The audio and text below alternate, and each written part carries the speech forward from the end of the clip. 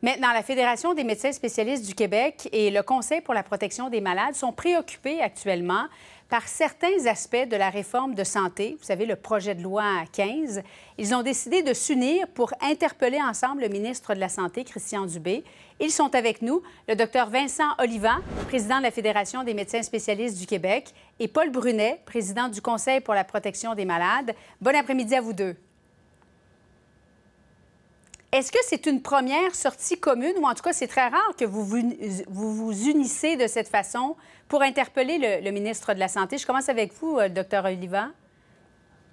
Oui, je pense que c'est une première, mais c'est une première qui est naturelle parce que dans le fond, on est ici pour la même raison, pour défendre les patients.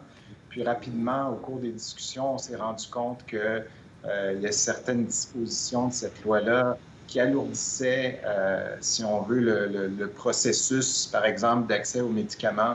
Donc, très vite, on s'est entendu, puis les patients et les médecins parlent d'une même voix aujourd'hui.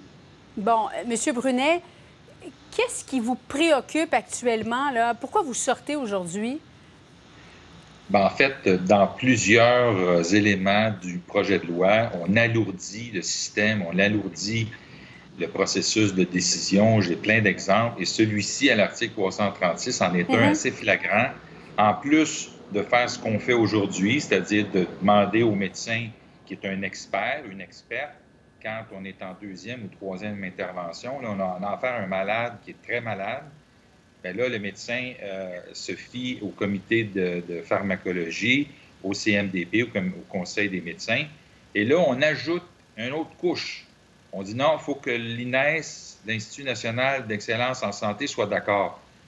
Le gars a le temps de mourir, Julie. Hmm. Alors, je ne comprends pas que le titre de la loi, et j'ai parlé souvent avec le ministre, puis je suis sûr que lui, lui est convaincu qu'il faut rendre ça plus efficace, mais là, on l'alourdit avec notamment cet exemple-là. C'est pour ça qu'on a, on a sauté aux barricades. Euh, docteur Oliva, c'est effectivement euh, possiblement le but principal de présenter, de mettre euh, de, l'avant cette réforme, d'accroître l'efficacité du réseau de la santé. Comment est-ce qu'on peut ajouter une couche qui va finalement nuire aux patients, selon vous?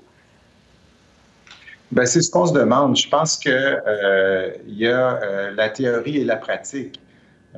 quand on parle au ministre Dubé, je pense qu'il a des très bonnes intentions, il est très ouvert. Malheureusement, ce qui se retrouve dans le projet de loi est très différent de ce qui est dit. Donc, euh, c'est probablement pas lui-même qui l'écrit, ce projet de loi-là, mais mm-hmm. c'est pour ça qu'on pour relever ces incongruences et j'espère qu'on va être entendu. Justement, elle est comment l'écoute du ministre de la Santé? D'abord, M. Brunet?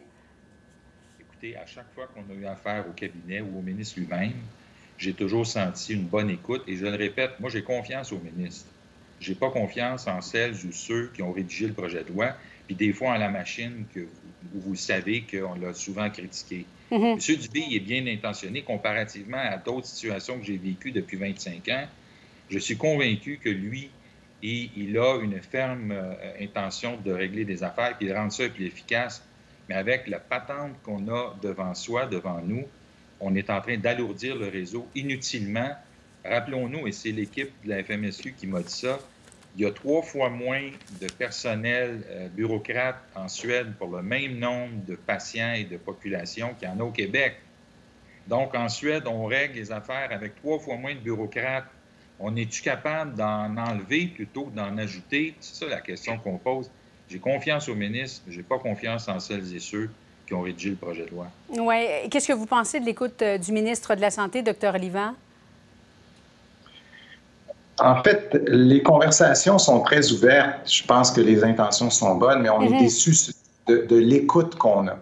Malheureusement, il y a peu de solutions proposées qui sont retenues.